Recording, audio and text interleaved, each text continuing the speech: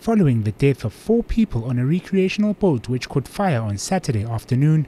Three passengers drowned and another died of smoke inhalation while celebrating their year-end function on the Hartbeespoort Dam.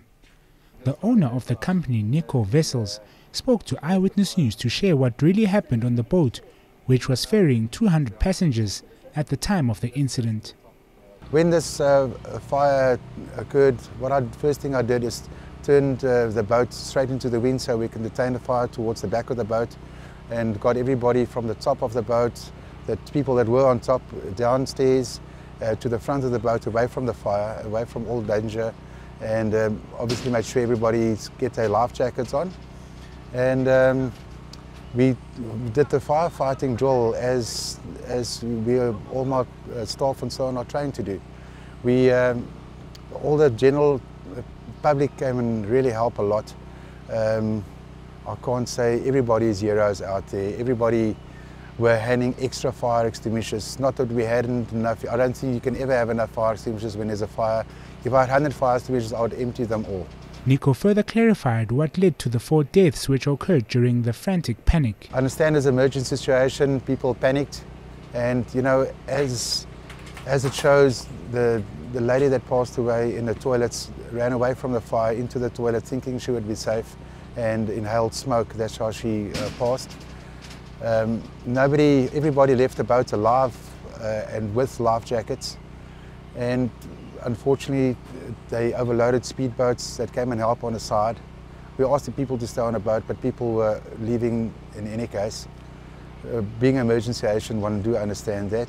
And, um, and as general public are, everybody's out there to look after each other and help each other.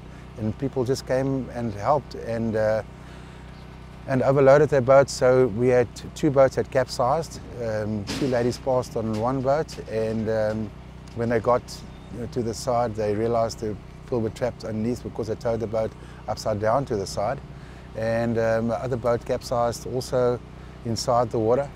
Uh, we had one lady that was brought to, to, us and we tried to do CPR on her. Uh, I got my staff members on the side as well to, um, to, to, treat her as well as we could, for, to resuscitate for 20 minutes until uh, the paramedics and so on uh, arrived and uh, took over from there. The cause of the fire is still unknown and no food was actually prepared on the boat. We don't have any gas appliances, okay, and we don't um, prepare any food on the boat.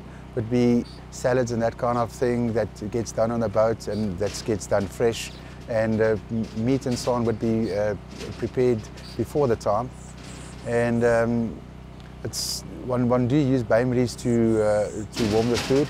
And in this case, uh, event company that booked the boat brought in their own uh, staff to do so. And um, what really happened in the kitchen, we, we don't know. The owner of Boaters World further added, following the fire, that the boat was still in a drivable condition. I drove the boat back here, so uh, the, the boat was never that we had to cut the engines off. The boat was always on power. So uh, we cruised back. The emergency services joined us in a boat. Um, like I said, the, all the passengers climbed off, but the emergency services um, and the fire guys were still um, cruised the boat back with me, and we docked the boat and tied it up, and then attended to everybody else on the side.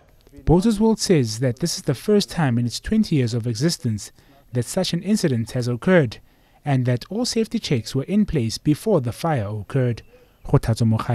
Eyewitness News.